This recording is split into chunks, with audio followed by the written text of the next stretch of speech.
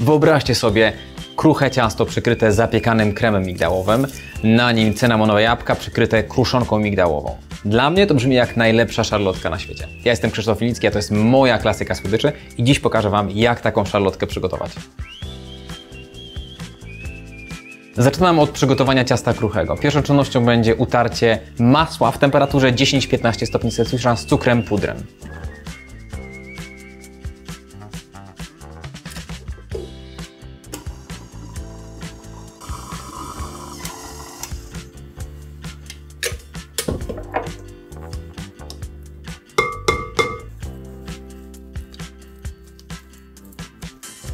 Gdy ciasto będzie już roztarte, dodaję żółtko. Masło jest dużo gęstsze i przykleja się do misy. Jeżeli wleję wszystkie żółtka naraz, będą po prostu swobodnie pływały wokół i nigdy nie połączą się z masłem. Moim zadaniem jest powoli rozluźniać masło, dodając po kolei żółtka. Następnym krokiem jest dodanie mleka.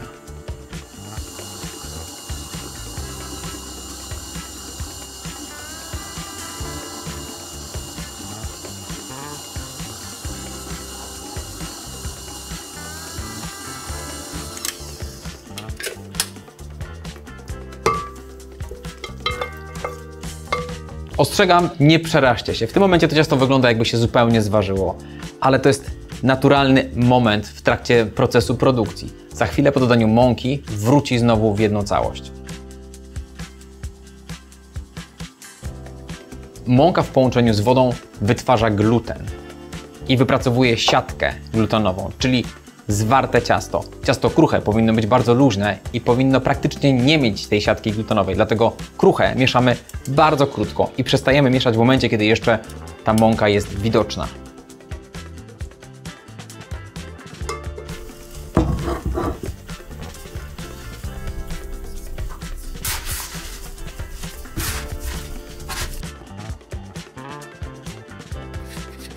Ciasto zgarniam ze stołu kropką cukierniczą. Jeżeli jej nie macie, możecie użyć każdego płaskiego narzędzia.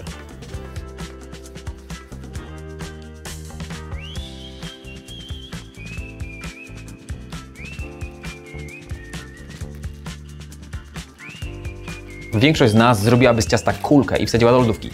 Ja z tego robię bardzo cienki placek, po to, by ciasto schłodziło się dużo szybciej i zamykam je w folię, po to, by nie wyschło. Ciasto spędza w lodówce mniej więcej 2 godziny, aż osiągnie temperaturę plus 4 stopni Celsjusza. Im zimniejsze ciasto, tym mniej wymaga mąki do podsypywania w czasie wałkowania. Jeżeli będziecie sypać tą mąką jak szaleni, zmienicie strukturę ciasta i jego recepturę i spowodujecie, że ciasto po wypieczeniu będzie bardzo twarde i będzie się też kurczyło w piecu, bo dodacie mąki, która zacieśni siatkę glutenową.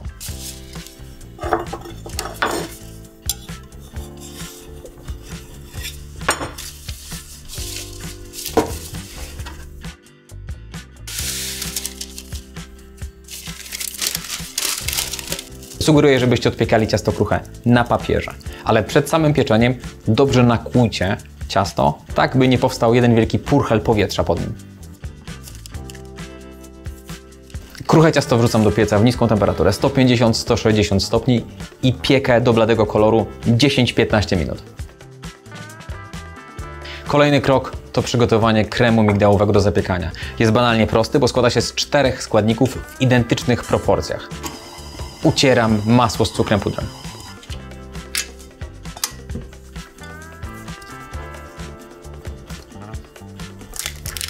W przeciwieństwie do ciasta kruchego, tutaj zamiast żółtek będą całe jaja.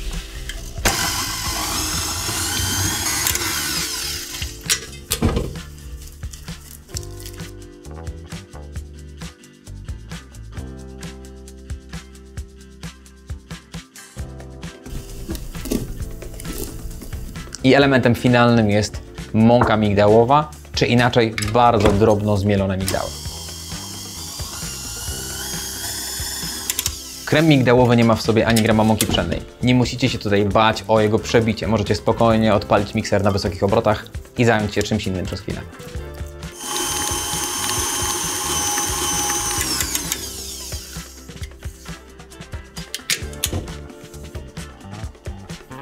Tak wygląda odpieczenie ciasta kruchego do bladego koloru. Ciasto kruche odpieczone na blado przykrywam warstwą kremu migdałowego. W Polsce oczywiście króluje szara reneta w szarlotkach, ale ja używam każdego jabłka, jakie mam pod ręką.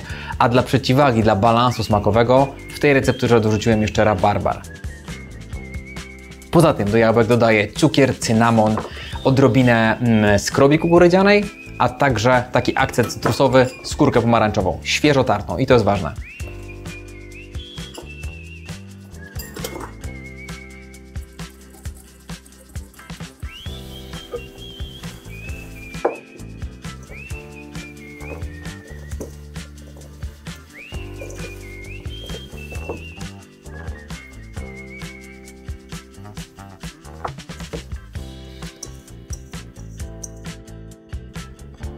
Ostatnim elementem tego ciasta jest kruszonka. I ta kruszonka jest specjalna, ponieważ zawiera w sobie odrobinę mąki migdałowej. Kruszonkę możecie przygotować w mikserze, tak jak ciasto kruche, ale ja lubię przygotować ją ręcznie, w misce, po to, by czuć dokładnie jej konsystencję. Cały proces polega na mieszaniu do momentu połączenia się składników i uformowania najpierw konsystencji piasku, a potem coraz większych bryłek. To jest ten moment, kiedy powinniście zakończyć proces mieszania. Wysypuję na jabłka. Jestem w tym taki trochę niechlujny. Nie ma dla mnie znaczenia, czy ona wniknie między jabłko, czy jest przykryta równomierniej. To jest drugoplanowe, bo tak czy siak upiecze się pięknie będzie smakowała wybornie. Forma ponownie wraca do pieca, tym razem już z jabłkami w 170 stopni. Tak mniej więcej 70-80 minut. Ten papier zdecydowanie ułatwia wyciągnięcie wystudzonej szarlotki z formy.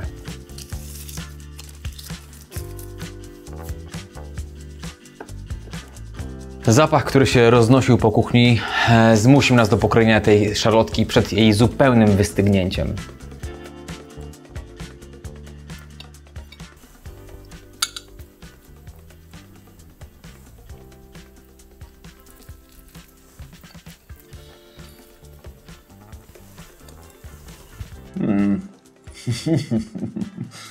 Dobra. Ta szarlotka ma w sobie wszystkie te cechy, które cenię w szarlotce. To znaczy, że ma chrupiącą kruszonkę, ma nieprzemoczony spód, jest cały czas bardzo wilgotna, cynamonowa, lekko orzeźwiająca przez obecność cytrusów.